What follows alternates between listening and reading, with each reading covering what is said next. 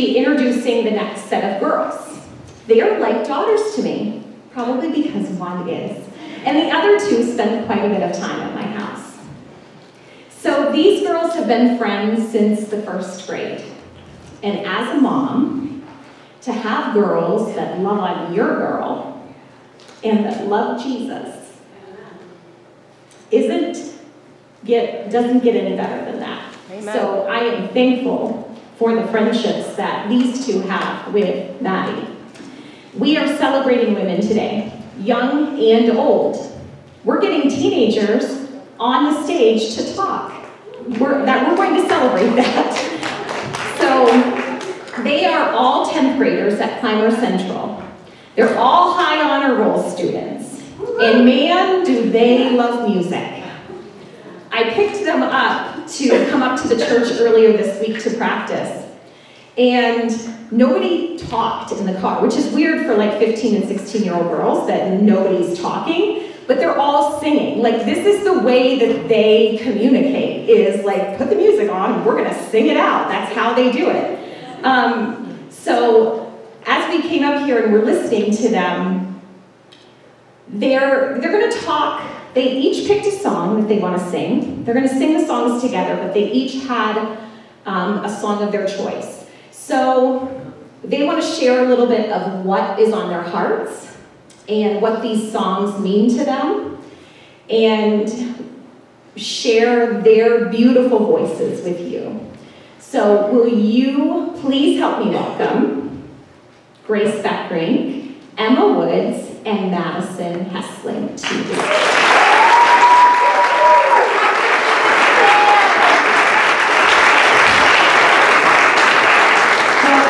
echo what Megan said when I'm Grace's mom, Erin, and when Grace was born, one of the things I prayed immediately for her is that God would bring good friends into her life that love Jesus.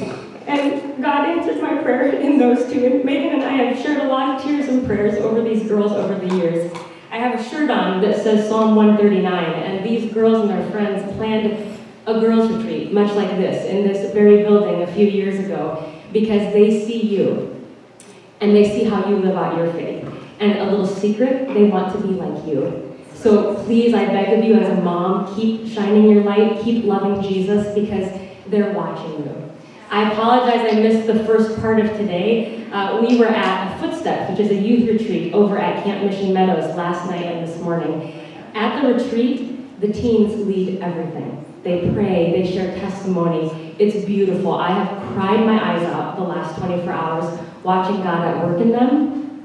But it's not easy being a teenager. Can I get an amen? amen? The enemy knows how to attack them. So I pray you all listening to the end of Erin's talk that you will rise up. Uh, but just listen to the Spirit through them. I wanted to share a scripture that we talked about at Footsteps this morning from Timothy. It's in chapter 4, and it says, Don't let anyone look down on you because you are young. Don't ever let anyone look down on you. Shine your lights, girls. And Megan and I are done crying now. God bless you. That's probably a lie, I'll cry okay, so hi everyone. I'm Emma Woods, and the song I chose talks a lot about like getting caught up in the rumors and the lies, and like as a high schooler and probably as adults too, it's really hard to not focus on that stuff since it's everywhere nowadays. But the song really focuses on listening to what God thinks about you because that means way more than what everyone else does because his love for you is never ending and he loves you more than anyone else. So,